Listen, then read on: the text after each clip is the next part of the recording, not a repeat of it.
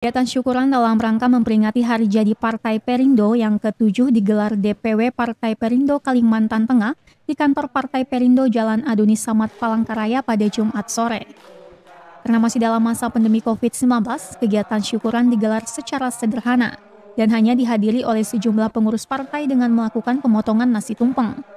Ketua DPW Perindo Kalimantan Tengah Sengkon menuturkan, dengan perayaan HUT Perindo yang ketujuh ini, dirinya yang diberikan amanah untuk memimpin partai berkomitmen akan membawa Partai Perindo lebih maju ke depannya. Kepada seluruh kader Perindo di Kalimantan Tengah, Sengkon juga mengharapkan agar terus bersemangat menggaungkan nama Partai Perindo dan dapat mengikuti pemilihan legislatif serta pemilihan kepala daerah yang akan datang.